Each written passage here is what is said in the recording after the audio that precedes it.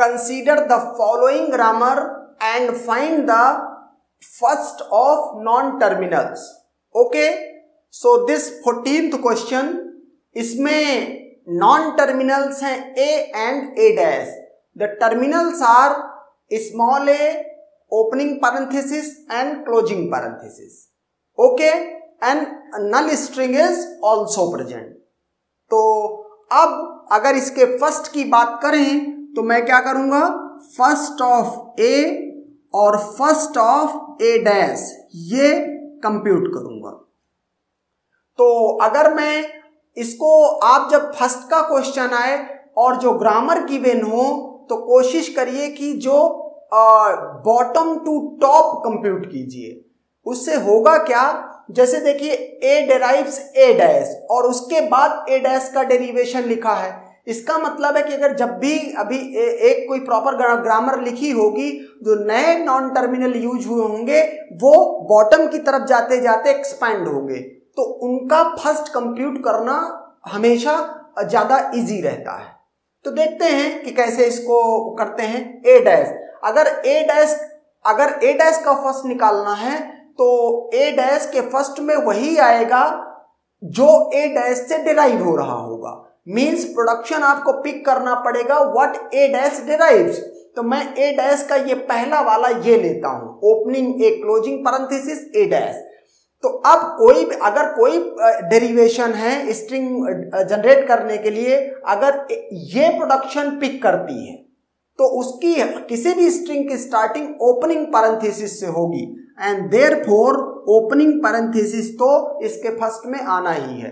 ए dash null भी derive कर रहा है एंड देर फोर नल भी इसके फ़र्स्ट में आएगा। क्या ए डैश और भी कुछ डिराइव कर रहा है? No no. क्योंकि ए या तो डेरिवेशन इसको यूज़ करके हो सकता था, या तो इससे। और इसके अलावा कुछ नहीं है। And therefore A dash का फ़र्स्ट इतना ही होगा। Now come to the first of capital A A अगर मैं A derives A A dash ये पिक करता हूँ और यहाँ पर बिगिनिंग में ही मुझे टर्मिनल मिल जाता है। इसका मतलब कोई भी स्ट्रिंग इससे डिराइव होने वाली हो, उसका बिगिनिंग का लेटर ए तो होगा ही टर्मिनल ए तो होगा ही होगा। तो ये तो इसके फ़र्स्ट में होना ही है। अब कोई भी स्ट्रिंग इससे इससे ले लो, इससे डराइव होती हुई, सबके बिगिनिंग में ए ही होगा। इसका मतलब इससे जो फ़र्स्ट कंप्यूट होना था, हो गया। अब आगे next production A derives A dash इसका मतलब है कि first of A equal to first of A dash और फ़र्स्ट ऑफ़ ए डैश मैं ऑलरेडी कंप्यूट कर चुका हूँ। जैसा कि मैंने कहा था, इसको कंप्यूट पहले कर लोगे तो आगे आपको आसान रहेगा। तो यहाँ से ये ओपनिंग और यहाँ से ये नल तो इस तरीके से first of A and A dash ये आपको दिख रहा है। Okay now come to next question अगर हम इस प्रॉब्लम की बात करें तो यहाँ जो नॉन टर्मिनल यूज़ हुए हैं, वो क्या है? नॉन टर्मिनल जो यूज़ हुए हैं, वो ई e है फ़र्स्ट ऑफ़ टी है फ़र्स्ट ऑफ़ ई डैश है फ़र्स्ट ऑफ़ टी डैश है, और फ़र्स्ट ऑफ़ एफ़ है। यहाँ पर इस, एफ़ और इस एफ़ में कंफ्यूज मत होना क्योंकि ये एफ़ जो है फ़र्स्ट को रिप्रेजेंट कर रहा है जबकि ये अंदर वाला एफ़ ये नॉन टर्मिनल एफ़ है। ओके अब हम क्या करेंगे? अब हम इनका फ़र्स्ट निकालेंगे। मैं बॉटम टू टॉप जाने की कोशिश करूँगा। अगर एफ़ क्या डिराइव कर रहा है मीन्स एफ़ का फ़र्स्ट चाहिए तो आपको वो प्रोडक्शन देखना पड़ेगा जहाँ एफ़ कुछ डिराइव कर रहा हो। तो एफ़ डिराइव कर रहा है क्या? Opening parenthesis E closing parenthesis इसका मतलब ओपनिंग पैरेंथेसिस तो इसके फ़र्स्ट में आना ही है। रीजन कि जो भी स्ट्रिंग इस प्रोडक्शन को लेकर के बनेगी, उसकी बिगिनिंग हमेशा ओपनिंग पैरेंथेसिस से होगी। ओके और इसके अलावा कुछ पॉसिबल नहीं है। तो नेक्स्ट नेक्स्ट एफ़ क्या डिराइव कर रहा है? एफ़ डिराइव्स आईडी तो इसका मतलब है आईडी भी इसकी फ़र्स्ट में आएगा। ओके इस तरह से एफ़ का फ़र्स्ट हमने कंप्यूट कर दिया। Now come to T dash अगर हम बात करें कि टी डैश का फ़र्स्ट क्या होगा तो आप देख सकते हैं T dash derives star F T dash यहाँ पर इधर बिगनिंग ही टर्मिनल से हुई है। इसका मतलब कोई भी स्ट्रिंग इसकी जनरेट हो, अगर इसका इस्तेमाल करके किया है T dash derive star F T dash तो उसकी बिगिनिंग स्टार से ही होगी। एंड देर ये तो फ़र्स्ट में होगा ही होगा। ओके और साथ में क्या कहा गया है? टी डैश डिराइव नल तो इसका मतलब है नल भी इसके फ़र्स्ट में आना ही आना है। ओके अब टी डैश क्या और कहीं कुछ टी डैश डिराइव कर रहा है? नहीं। तो इसीलिए अब इसको छोड़ देंगे। आगे पहुँचेंगे किस पे? ई डैश e पे पहुँचते हैं, चाहे टी कंप्यूट कर लेते हैं, चाहे T dash E dash compute कर लेते हैं, पहले यहाँ पर ई e डैश है, मैं ई डैश ही कंप्यूट कर देता हूँ। ई e डैश क्या, का फ़र्स्ट उसका मतलब ई डैश से जो भी कुछ ड्राइव हो रहा है, उस प्रोडक्शन पे पहुँचना पड़ेगा।